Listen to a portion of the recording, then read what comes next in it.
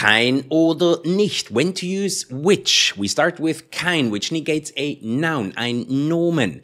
Das ist kein Tisch, das ist kein Buch, das ist keine Lampe und das sind keine Stifte. And as you can see, the ending of kein changes according to the gender of the noun. Why? Because kein is a negative article. It behaves the same way like an article. Nicht, on the other hand, is for adjectives and Verben. Zum Beispiel für Adjektive, der Stift ist nicht neu, bist du nicht müde und Deutsch ist nicht schwer. Mm, just kidding. Und für Verben, ich arbeite heute nicht, kommst du morgen nicht. Max kauft das Handy nicht. And as you can see, mostly on the last position. Exceptions are, for example, for separable verbs. Der Zug fährt nicht ab. Model verbs. Lisa will die Pizza nicht essen. Und Perfect Tense. Er hat das Handy nicht gekauft.